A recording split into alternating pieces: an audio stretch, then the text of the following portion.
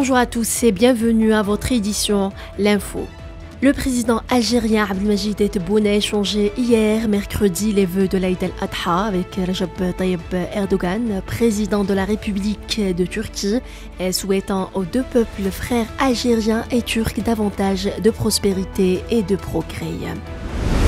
Le secrétaire général de l'ONU, Antonio Guterres, a condamné les projets prévoyant la construction de plus de 5500 logements dans les colonies par l'entité sioniste en Cisjordanie occupée.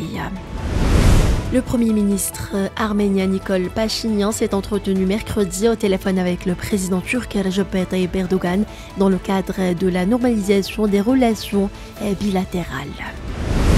Des centaines de personnes ont manifesté à Lisbonne et dans plusieurs villes portugaises pour réclamer des hausses de salaire et des mesures pour faire face à la hausse du coût de la vie, rapportent des médias locaux. Les Nations Unies ont dit tirer la sonnette d'alarme concernant la situation humanitaire dans le nord-est du Nigeria en soulignant la hausse du nombre de personnes ayant besoin d'aide du fait d'actes terroristes. 77 personnes ont pour l'heure été interpellées en Île-de-France lors des émeutes qui ont éclaté en banlieue parisienne après qu'un policier a battu un jeune conducteur de 17 ans, a rapporté ce jeudi le journal Le Figaro.